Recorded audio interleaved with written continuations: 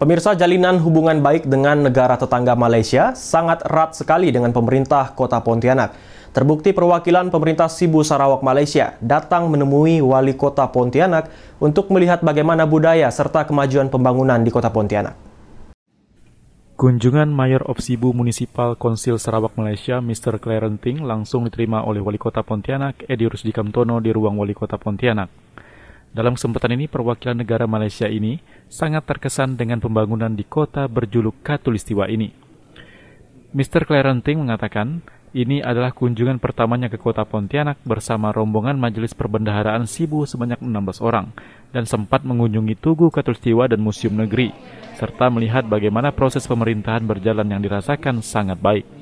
Uh, Ponti is a, a big city. Huh?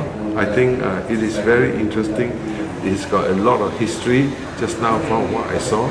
I know very little about Ponti, but just now the council is very, the Majalis is very kind to show me what you have here. Oh, I also uh, visited the Equator. Equator Monument. Yeah, yeah, already. So, you know, I'm very impressed with what I hmm. saw. Uh, we, we want to come back and uh, explore more. Just now there was this uh, we did not know, but then we, we found out that actually Ponti, uh, the, the Malayu community, uh, community is very big. And then uh, the culture is well, is well preserved here. So I think uh, the, uh, we would encourage our councillors, you know, in our Cebu yes. Council, to, the Malayu Council, uh, councillors to come and study what you have in Ponti. Alhamdulillah, beliau kan baru pertama kota kotanya dan akan rencana datang lagi nanti di lautan kota yang seolah ya. dia terkesan dengan kota Pontianak ke kota Sibu ini kan uh, penduduknya hanya 200 berapa 40 ribu jiwa. Itu konturnya mirip-mirip Pontianak. Ada sungai juga di sana sungai Rejang namanya.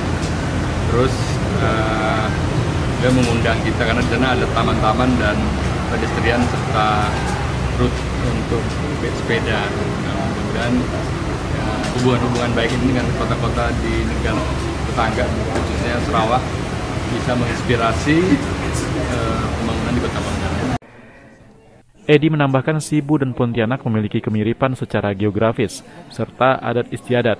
Dari pertemuannya dengan Mr. Clarenting, mereka mengungkapkan keinginan untuk kembali berkunjung ke Pontianak pada hari ulang tahun di bulan Oktober mendatang.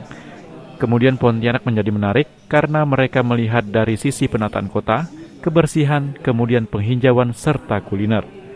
Dari kota Pontianak, Barjan Pasore, iNews melaporkan.